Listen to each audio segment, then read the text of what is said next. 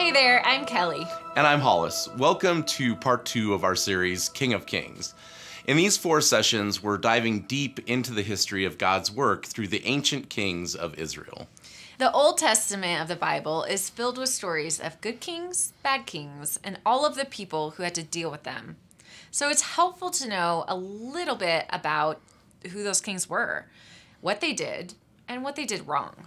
As we study these histories, we'll see that we are all a mix of wise and poor decisions, and we'll consider where to look for the direction and wisdom we desperately need.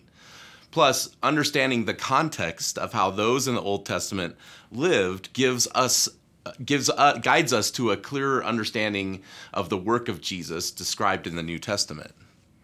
It's important to remember that kings weren't God's original design for the people of Israel. God was supposed to be the only ruler of Israel, but while the Israelites, wanting to be more like the other nations, insisted God give them a king. Eventually, God relented to their pleas. In their quest for spiritual direction, what followed was centuries of confusing power for justice and confusing influence for wisdom. Something we may be able to relate to even today. Yeah. Last time we talked about King David. David was described as a man after God's own heart, but he also made some big mistakes. And today we're going to spend our time in the story of a would be king of Israel. His name is Absalom. What do we know about Absalom? Well, we know Absalom was the third son of King David.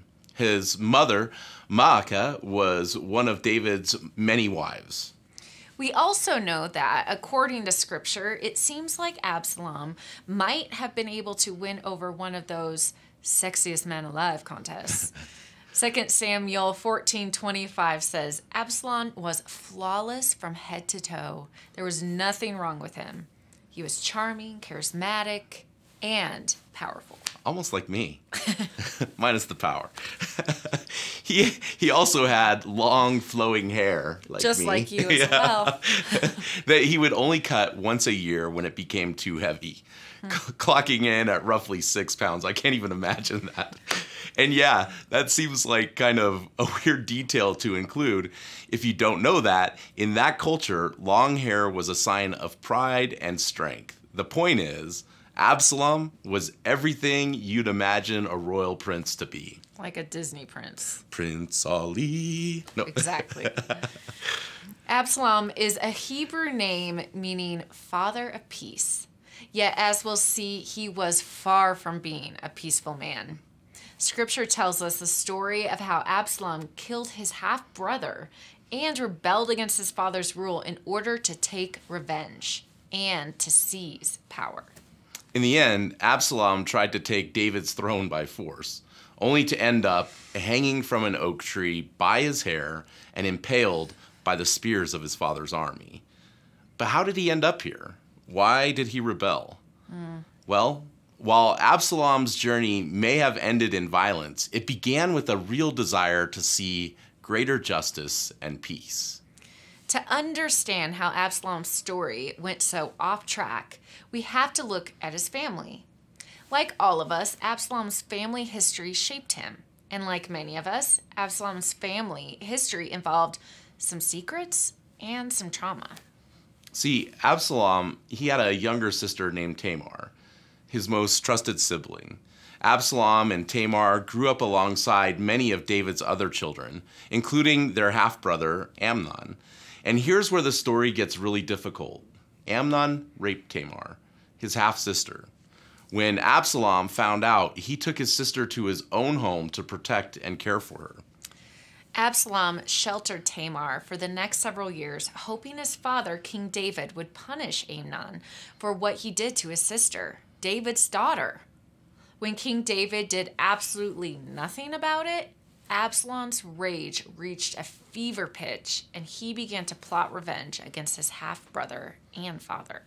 2 Samuel chapter 13 says, When King David heard of all these things, he became angry but he would not punish his son Amnon because he loved him, for he was his firstborn. Absalom hated Amnon because he had raped his sister Tamar. So Absalom made a plan to lure and assassinate Amnon. When the right time came, Absalom threw a major party, invited all of his brothers to attend, including Amnon. As Amnon focused on the celebration and wine, Absalom's men attacked. The murder went exactly as planned. Knowing his father David would be furious about this and he would probably be executed himself, Absalom did not stick around after the melee. He went into hiding for three years. 2 Samuel chapter 13 37 tells us David missed Absalom greatly, so much that he mourned for him day after day. Imagine what Absalom must have thought during those three years in hiding. Why did my dad get so mad over losing his son Amnon, but not over what happened to his daughter Tamar? Why did he mourn day after day for me as rebellious son, but not mourn every day for her? I can't help but think all these thoughts went through Absalom's mind when he was away from Jerusalem. The justice Absalom wanted for Tamar never materialized. Mm. King David never spoke out against Tamar's tragedy or punished Amnon. So Absalom took matters into his own hands. Absalom, the father of peace, chose violence and exile. But from here, his story goes from bad to worse. With the plot against his half brother complete, Absalom turned his attention to his father, David. Absalom was eventually brought back to Jerusalem, but for two years was denied any contact with King David. We know during this time, Absalom continued to seek amends for his sister's betrayal. He even named one of his daughters Tamar, indicating how this still weighed greatly on him. Eventually, Absalom was restored to favor in David's court. But he took this opportunity not to seek justice for Tamar or peace with King David, but to take revenge by attempting to steal David's power. Absalom charmed David's constituents with his looks and his charisma, and then claimed himself king. This bold declaration led to an all out battle between David's powerful army and Absalom's local backers. Absalom led a final insurrection against his father that resulted in the death of more than 20,000 Israelites. When it was clear that Absalom was losing the battle, he fled on a mule, the symbol of royal peace in Israel. As he rode away, his flowing hair stuck in the branches of an oak tree, leaving him hanging alone even though King David gave strict orders that Absalom be left alive. His man disobeyed that order and killed Absalom while he was still trapped. There were so many twists and turns in Absalom's tortured life. The inclusion of Absalom's wise and poor decisions in Scripture point to many lessons, but there's one I want to draw our attention to today. When we use the tools of revenge, deceit, violence, and power at any cost, we eventually become shaped in that image. Absalom, the father of peace, rode on a mule, the symbol of peace, and died hanging from a tree while being pierced by the spears of soldiers. If you know the story of Jesus, this might sound familiar we cannot miss the implications of Absalom's life compared to the life of Jesus. Every king of Israel, from Saul to Solomon, is associated with a donkey, the royal symbol of peace. But in stark contrast to all of Israel's earthly kings, Jesus, Jesus is the only king who is rightfully hailed as the Prince of Peace. When he rode into Jerusalem on a donkey, he genuinely ushered in God's kingdom with humility and love not arrogance and violence, or by manipulating others to secure his power. Like Absalom, Jesus died while hanging from a tree. But unlike Absalom, Jesus died while laying down his life, not grasping for power.